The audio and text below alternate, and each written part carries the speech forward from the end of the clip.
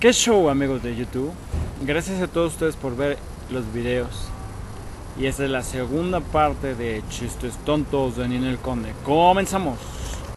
A Ninel Conde la mandaron a Colombia a traer coca.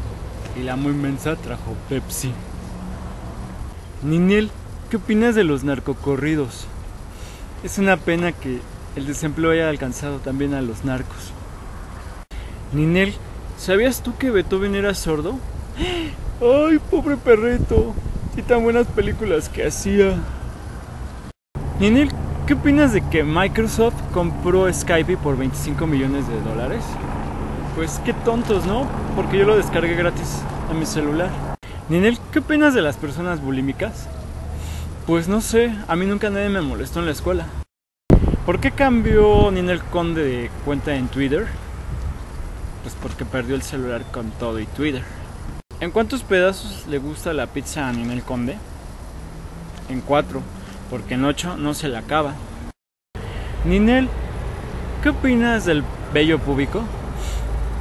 Que sin ellos yo no sería nada. Los amo. Gracias, querido público. Ninel, ¿qué opinas de la primera presidenta que tuvo Chile? Ay, pues yo siempre he estado a favor de los cambios de sexo. Ánimo, corazones y pues, ante todo respeto, ¿no? Ninel, Ninel, ¿qué opinas acerca del programa Encantador de Perros? Muy bueno, quedé encantada. Ninel, ¿quieres surimi? Ay, ya deja de burlarte de mí y dame algo de comer, ¿no? Ninel, ¿qué opinas acerca de la posición rusa-serbia? Ay, pues es que esa no me la sé. A mí me gusta más de a perrito. Nuevamente, muchas gracias a todos por ver estos videos. Si a ti te gustaría una tercera parte de Chistes Tontos de Niño el Conde, ¿por qué no dejas tus comentarios acá abajo?